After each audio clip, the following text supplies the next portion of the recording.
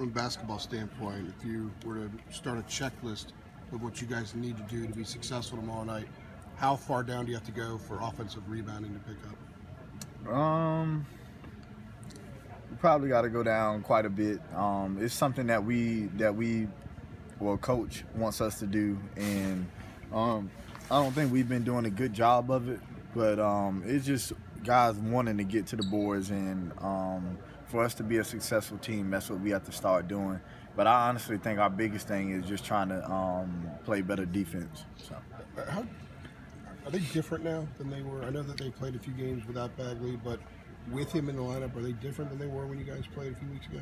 Mm-hmm. I mean, he was in the lineup when we played him. So um, the biggest thing is just trying to keep them off the boards and trying to make it uh, hard for, for them in the post. If they get the ball on the block, I mean, it's hard to guard them because they they're they're very explosive. They're long guys, and so um, we just got to try to do our best to try to get around and make it tough for them. But um, I mean, Bagley was playing the last time, and um, and we made it pretty tough for him. So I think if we can do that again, um, that'll be something that uh, that's, that, that'll be good for us. What about their zone? Do you recall how much zone they played against you guys the first game? And, so, how, what do you what do you recall from that? Yeah, I think they played more man to man and was uh, switching the screen on ball.